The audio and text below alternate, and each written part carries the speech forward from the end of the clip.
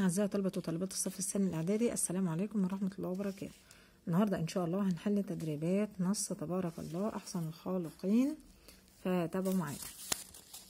السؤال الأول بيقول ضع علامة صح أمام العبارة الصحيحة أو علامة خطأ؟ الآيات من سورة البقرة خطأ طبعا لأن الآيات من سورة الأنعام. اتنين من دلائل قدرة الله أنه يشق الحب ليخرج منه النبات. صح. خلق الله الليل ليسعى فيه الناس لكسب الرزق خطأ طبعا لأن الليل للراحة. خلق الله البشر جميعا من آدم عليه السلام صح. تخير الإجابة الصحيحة مما بين القوسين. فصل الله الآيات للمؤمنين وللكافرين وللزاهدين ولكل إنسان عاقل كل إنسان عاقل. فهم دلائل قدرة الله يحتاج منا إلى إيه؟ نشاط ولا تعليم ولا اعتراف ولا البحث والتأمل. البحث والتأمل. موضوع الآيات الجهاد ولا فرائض الإسلام ولا دلائل قدرة الله ولا الدعوة؟ الاختيار هو دلائل قدرة الله.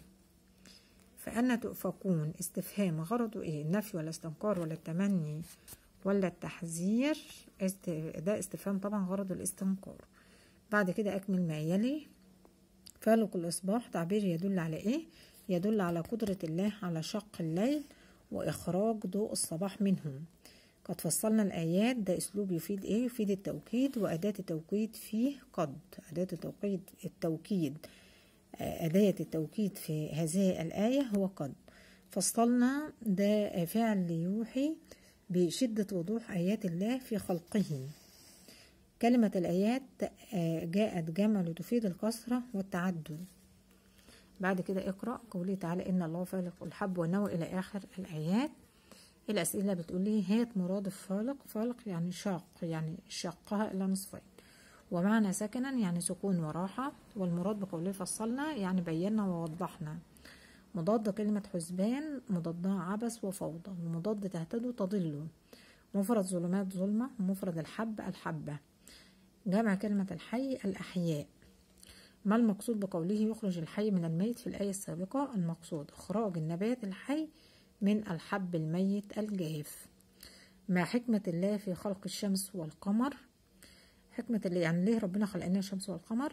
الحكمة هي معرفة عدد السنين والحساب ومواقيت العبادات وتحديد الاتجاهات. لماذا ختمت هذه الآية بقوله تعالى لقوم يعلمون لأن الله خص هؤلاء القوم بالتحديد بالذكر لأنهم هم الذين يتفكرون فيؤمنون ولا يكفرون. ما الجمال في قوله تعالى إن الله فالق الحب والنوى ده أسلوب مؤكد بإن قوله يخرج الحي من الميت ده توضيح لما قبله. قوله فأنا تؤفكون ده استفهام غرض الاستنكار. قوله فالق الإصباح وجعل الليل سكنا ده تعبير بيدل على قدرة الله على شق الليل وإخراج الصبح منه. قوله اللي تهتدوا بها في ظلمات البر والبحر ده تعليل لما قبله علاقته ما قبله طبعا تعليل. وكلمة البر والبحر بينهما تضاد. الآيات اللي قدامنا دي عن دلوقتي هنحل عليها الأسئلة اللي موجودة تحت. معنى يفقهون يفهمون ومعنى متراكبا يعني متراكما فوق بعضه. والمراد بقوله مستقر المراد بقى أرحام النساء أو المراد الاستقرار فوق الأرض. مضاد كلمة فصلنا أخفينا ومضاد دانية بعيدة مضاد دانية بعيدة. مفرد كلمة قنوان قنو وهو عنقود النخل. جمع نفس نفوس أو أنفس. ما النفس الواحدة التي أنشأنا الله منها هي نفس آدم عليه السلام. وعلى ما يدل إنشاؤنا من نفس واحدة ده بيدل طبعا حتى لا يكون هناك تمييز أو فضل لأحد على أحد إلا بالتقوى والعمل الصالح. بيقول لي بعد كده لنزول المطر فوائد عديدة. اذكر ثلاثة منها. أول حاجة إنبات الحبوب والثمار. تاني حاجة أخرج من طلع النخل عناقيد قريبة ده بفضل ماء المطر طبعا. تالت حاجة أخرج بماء المطر شجر الزيتون والرمان آه طبعا مواطن الجمال إحنا كلنا دلوقتي كلنا بناخدها اختياري فمفيش حاجة من دول هتيجي لأنه بيجيب لنا المضاد الحاجة اللي بينها تضاد الحاجة اللي زي كده يعني. فاللي زي ده مش هيجي في الامتحان عشان كده مش هنتعب نفسنا فيه. آه بعد كده آه الاختيارات دي الحاجات اللي بتجيلنا في الامتحان. الامتحان بقى كله شكله اختياري. أدي الآيات وبقول لي تخير الإجابة الصحيحة. المراد بقوله تؤفكون. المراد بها يا ترى تنصرفون ولا تعرضون ولا تبعدون. يا جماعة ما سبق. تؤفكون معناها تنصرفون. إحنا خدناها في الكتاب معناها تنصرفون لكن معناها أيضا تعرضون معناها تبتعدون. مضاد تقدير عبث. هنا بقى في غلطة. جاب لي مضاد كلمة سكنا سكاكين ولا مساكن ولا أسكان ولا ساكنين هي كلها جموع. ف وجاب لي هنا المضاد. المفروض إن أنا بغير كلمة مضاد وبكتب مكانها كلمة جمع. دي غلطة. هنا المفروض جمع كلمة سكن أنهي واحدة في دول؟ جمع كلمة سكن أسكان أسكان. فسر الآيتين الكلمتين إحنا مش هنفسر طبعا لأن الأسئلة المقالية مش ما عادتش بتيجي في الامتحان. ما الجمال في قوله تعالى فأنه يؤفكون؟ ده استفهام يفيد الاستنكار وأنا قلتها لأنها تيجي اختياري. آه بعد كده الآية دي مدينا عليها أسئلة والاختيار مهم جدا. ما المراد بقوله جعل؟ يا ترى خلق ولا أنشأ ولا سخر؟ هنقول كل ما سبق. مفرد ظلمات ظلمة. جمع البر برور برور. آه بعد كده بيقول لي ما علاقة لتهتدوا لتهتدوا بها بما قبلها دي الحاجات اللي تيجي اختياري علاقتها تعليل علاقتها تعليل ما الجمال في قوله قد فصلنا الآيات لقوم يعلمون؟ ده أسلوب مؤكد بقد أسلوب مؤكد بقد. بعد كده أنزل الله المطر فأخرج به نبات كل شيء. اكتب الآية الدالة على ذلك الآية الدالة على ذلك وقوله تعالى وهو الذي أنزل من السماء ماء فأنبتنا به نبات كل شيء.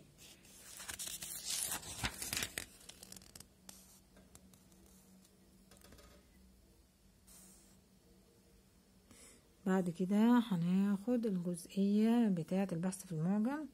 ابحث في المعجم عن معنى الكلمات الآتية تقدير هتبقى في باب القاف فصل الدال مع الراء ومستودع هتبقى كلمة مستودع هتبقى باب الواو فصل الدال مع العين ويفقهون هتبقى باب الفاء فصل القاف مع الهاء. بعد كده بيقول لي مديني قطعة. إن دلائل قدرة الله كثيرة عظيمة. إن دلائل قدرة الله كثيرة عظيمة. فكم من الظواهر تثبت عظمته وبدع صنعه سبحانه. فانظروا أيها الناس نظر تدبر وتأمل إلى القدرة التي فقط قدرة أي مخترع.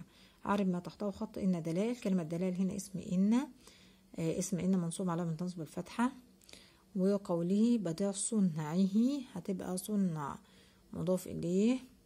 مجرور وعلامة جر الكسرة وصنع مضاف والهاء ضمير مبني في محل جر مضاف إليه. وبعد كده فانظروا أنا عندي هنا انظروا فعل ماض مبني على حذف النون لأنه اتصل به واو الجماعة. وطبعا واو الجماعة ضمير مبني في محل رفع فاعل. بعد كده بيقول استخرج من الفقرة. كم وبين نوعها يقول لي فكم من الظواهر التي كم من الظواهر تثبت عظمته وبديع صنعه. ونوعها هنا خبرية طبعا.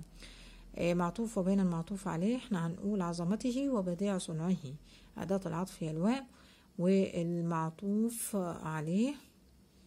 أنا عندي المعطوف عليه هي عظمته والمعطوف كلمة بديع. فعلا مبنيا فقط مفعولا مطلقا نظرة اللي هي هنا. فانظروا نظرة بعد كده صوب الخطأ عاد الحجاج سالمون من رحلتهم. هنا الخطأ هيبقى هنا سالمون لأن ده هيبقى حل والحل بيبقى منصوبة فهنقول عاد الحجاج سالمين من رحلتهم. هذه الطالبة متفوقة. اجعل الاسم المبني في هذه الجملة معربا وغير ما يلزم. علشان هخليه معرب هيجيبه للمثنى طبعا لأن أنا عندي أسماء الإشارة كلها مبنية ما عدا هذان وهاتان. فأقول إيه؟ هاتان الطالبتان متفوقتان. كده يبقى انتهينا من حل التدريبات. وأشوفكم في فيديو آخر والسلام عليكم ورحمة الله وبركاته.